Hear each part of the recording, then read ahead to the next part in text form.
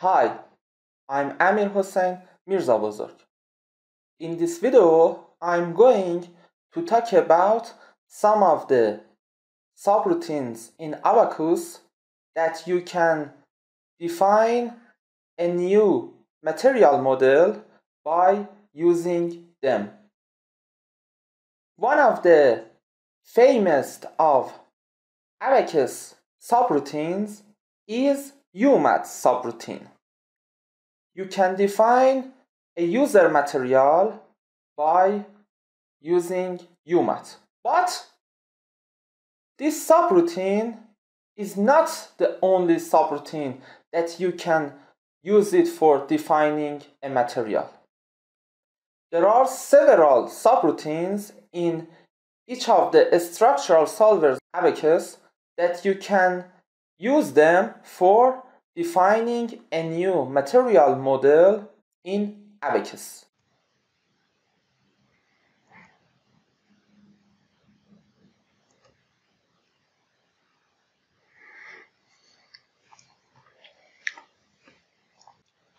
In this video, I'm going to talk about UMAT and other subroutines for defining a new material in Abaqus.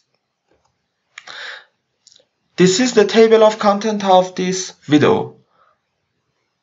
First, I want to introduce you some of the subroutines for defining a new material in Abaqus. Then I want to talk about UMAT and VUMAT subroutines. Then I will talk about USDFLD and VUSDFLD subroutines. And finally, I will talk about UHARD and VUHARD subroutines. Each of the solvers of Abaqus has their own subroutines for defining a new material in Abaqus. And you cannot use one of the solver subroutines for another solver. Here, I have mentioned some of the subroutines that you can use them for defining a new material in Abaqus. For Abaqus explicit solver, we have VUMAT, VUSDFLD, and VUHARD subroutine. And for Abaqus standard solver, we have UMAT, UHARD, UMATHT, USDFLD, CREEP, UHyper and UDMGINI subroutines. Between these subroutines, UMAT and VUMAT are the most famous subroutines. And most of the people think that the only way to define a new material in Abaqus is to use one of them. But this is not correct. Abaqus has a lot of subroutines for defining a new material. For example, by using VUHARD or UHARD, you can define a new plasticity model for ductile materials. And by using CREEP subroutine, you can define a new creep model. By using UHyper subroutine, you can define a new model for a hyperelastic material. And by using UDMGINI subroutine, you can define a new initiation criterion for XFEM technique in fracture mechanics. For example, if you want to define a model for crack initiation in bones, you must use UDMGINI subroutine because Abaqus has not an appropriate initiation model for bones.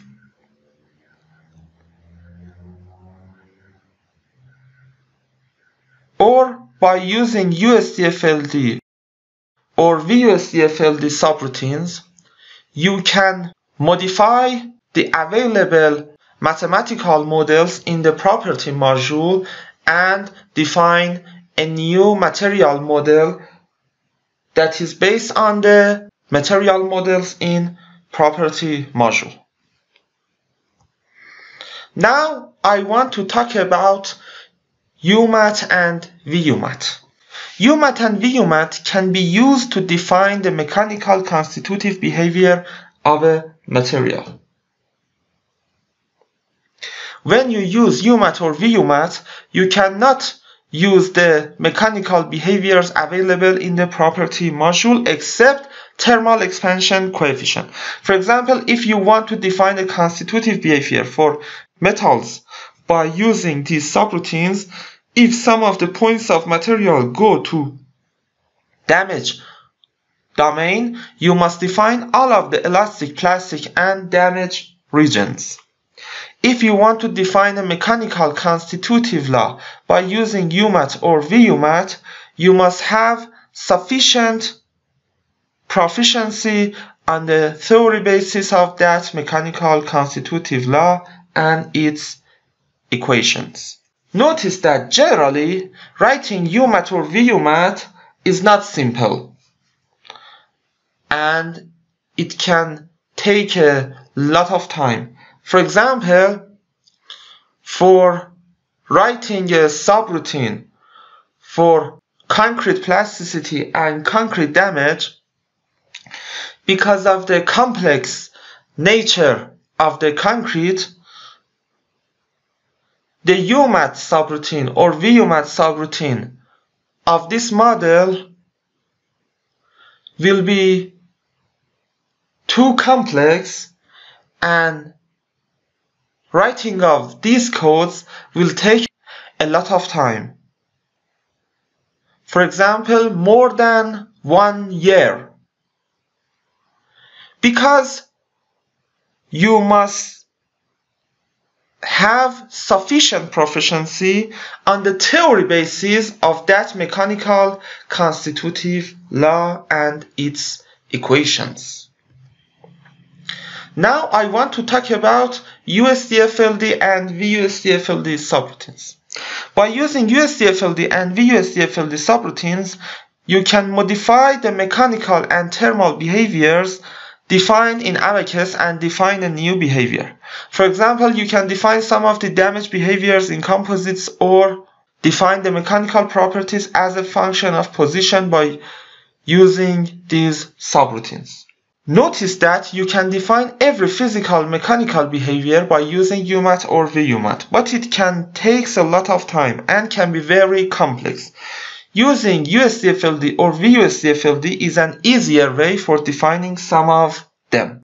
Notice that I have said for defining some of them, not all of them, because that mechanical model must have the capability to be defined by USDFLD and VUSDFLD subroutines and some of the material models do not have this capability.